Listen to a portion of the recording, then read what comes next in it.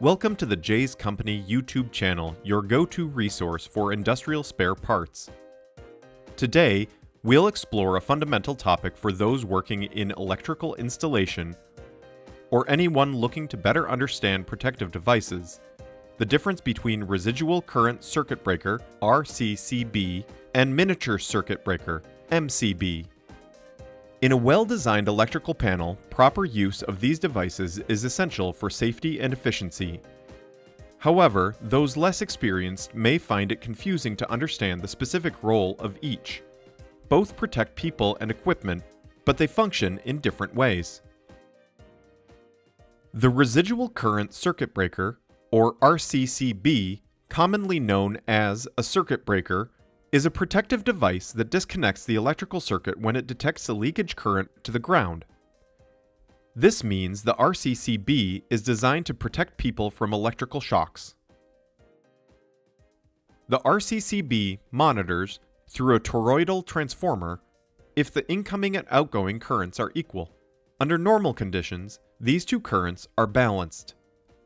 If there's a difference, for example, if part of the current flows to the ground through a person, the disconnection mechanism triggers instantly, interrupting the flow of current to prevent potential accidents and harm.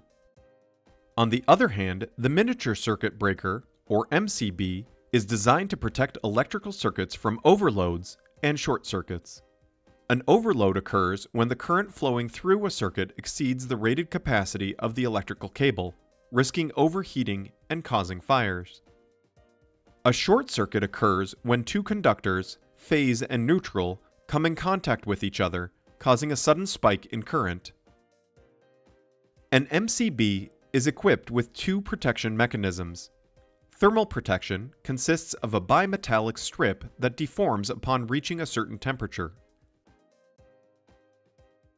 This activates when current flow exceeds a certain limit for a prolonged period. Under these conditions, the thermal element heats up triggering the switch and disconnecting the circuit.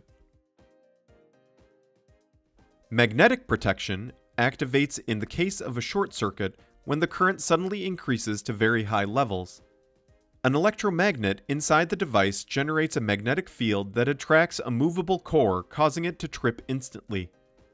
This movement opens the switch with a fraction of a second, disconnecting the circuit and preventing further damage. Although both types of circuit breakers protect the system, they do so in different ways and for specific purposes.